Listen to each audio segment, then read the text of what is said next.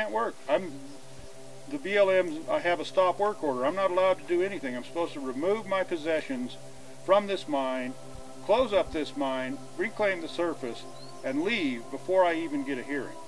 And the BLM is trying to bully me and force me off my land at the risks of totally violating my Fourth and Fifth Amendment rights, and I refuse to budge. I am not leaving. They are not taking me out of here until I get my day in court.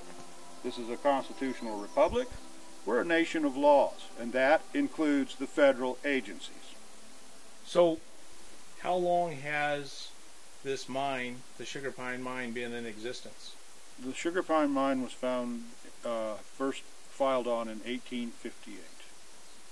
So it's My- been in continuous operation since then? Yes. My claim dates from when Daniel Green bought it from Devil Biss and his partner in 1876. So, how did this come to be? How did you get the Oath Keepers in here? How did that happen? A BLM officer, of uh, law enforcement officer who I do not know his name, and contract deputy Stanton came in on Monday last week.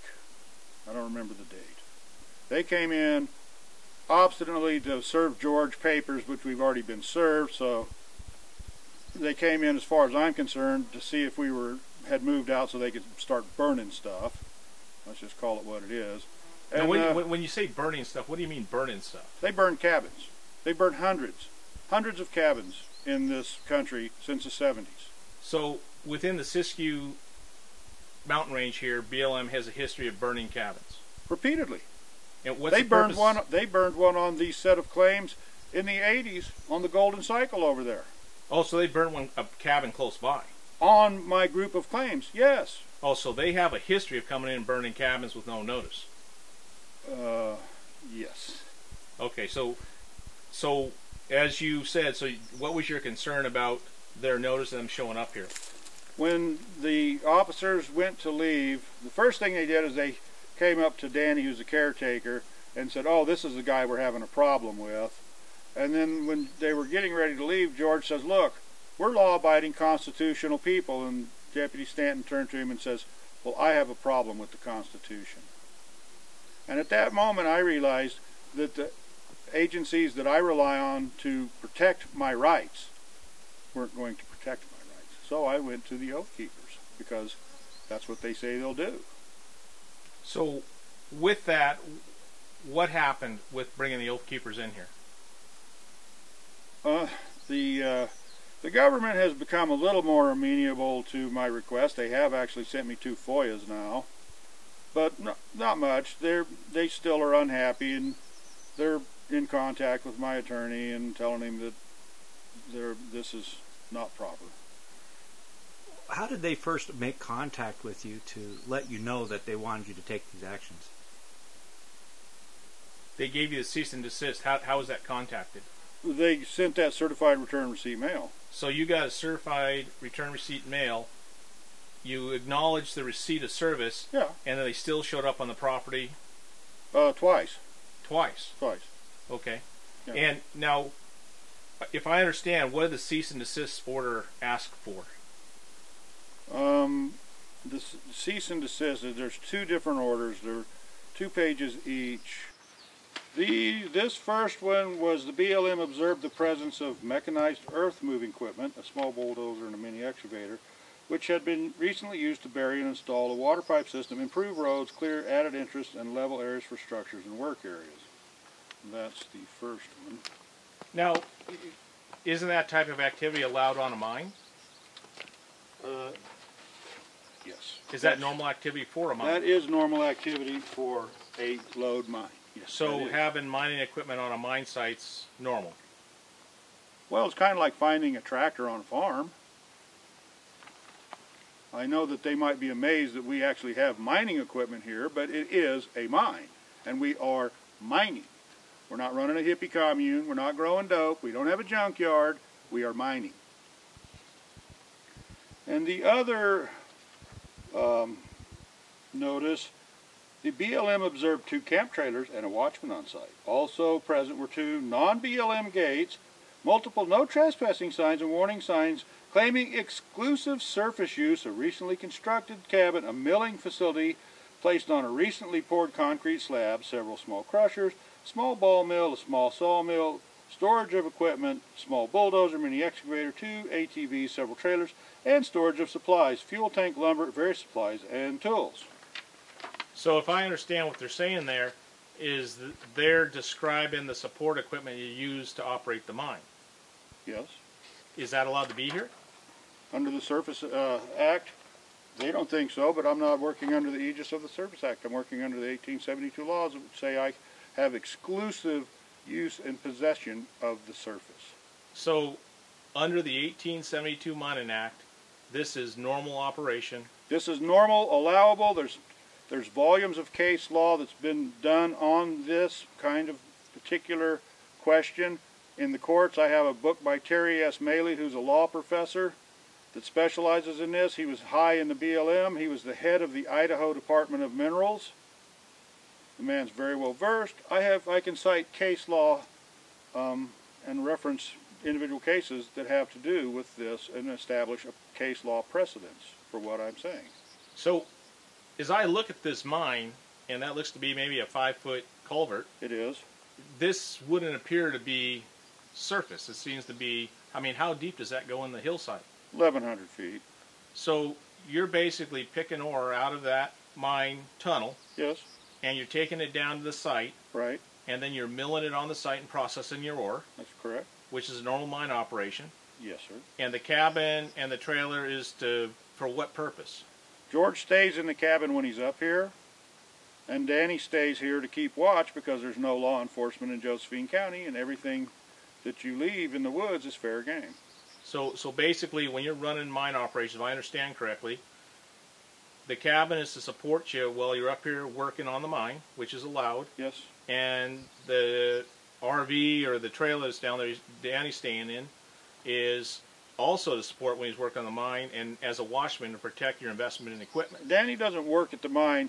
We allow Danny to stay up here, and he can prospect around. He mines all over the place. In exchange, he keeps an eye on the place when we're not around. So you, you have a substantial investment in your mining equipment. Okay. And you want that protected. I do want that protected.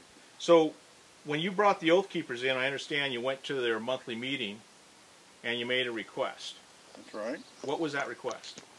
that we have our constitutional rights, the Fourth and Fifth Amendment, to redress and due process and prevention of illegal search and seizure until I get my day in court.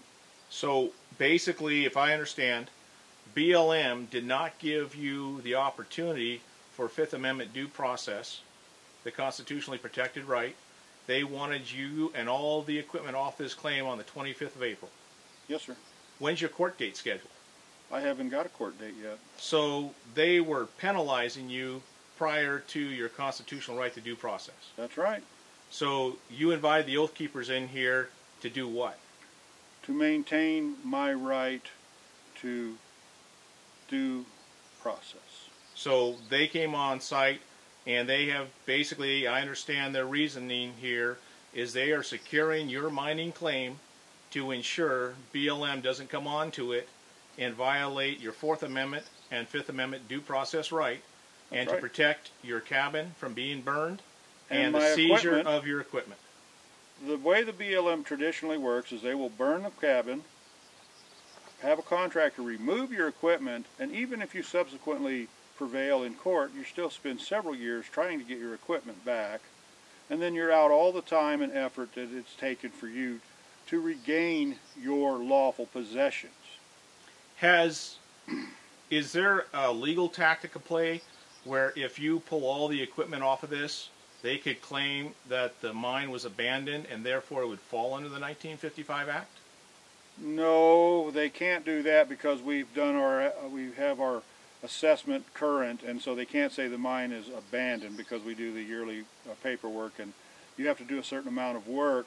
It is interesting that they tell me I can't use equipment, I can't do anything up here, but by law, I'm required to do a certain amount of labor per year to maintain my possession of my claim. So you need to maintain the claim, but they're telling you you can't do that. That's correct. I can come up here with a gold pan, I suppose. They're, they'll allow me to have a gold pan, maybe pan a little bit in the creek as long as I don't disturb any fish or something. There's no fish in that creek, but nonetheless. So basically, they're putting me in an untenable position. So I, I understand Oath Keepers came in, they secured the mine site. So there was a site survey done on a Saturday, and it was understood during that site survey that you had a deadline coming up on that coming Tuesday. The cabin had to be off the claim. That's correct. I had 14 days from receipt of notice to remove the dwelling. So at that point, you requested a security operation, and Oath Keepers stood up, and they brought in other resources from around the state of Oregon and actually around the, the nation, correct? That's correct. So we've got currently on site, we've got the 3% group, Oath Keepers, all of them have been supporting the operation. That's correct. Have you had any concerns about the way they've been running the operation, the security operation? No, sir. You have any concerns that they need to be leave or you want them here? They came at my request. I requested their presence. I still request their presence until such time as I achieve my due process. They can stay here and see to it that justice is served.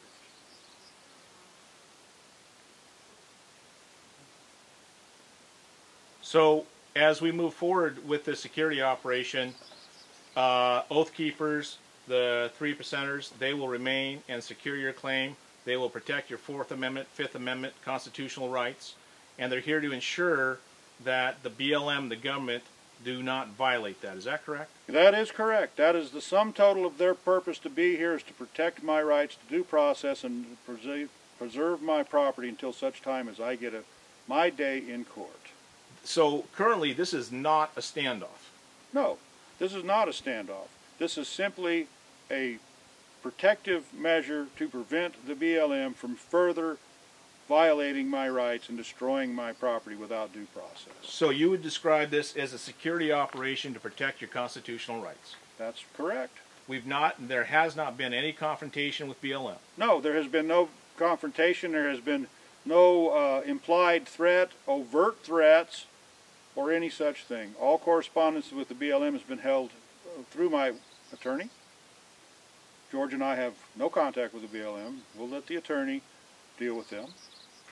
Do you believe the reason BLM did not come in was because of the Oath Keeper president and three percenter presence? I'm absolutely positive that the BLM hasn't destroyed my property because it has been protected, as have been my rights, by a group of folks.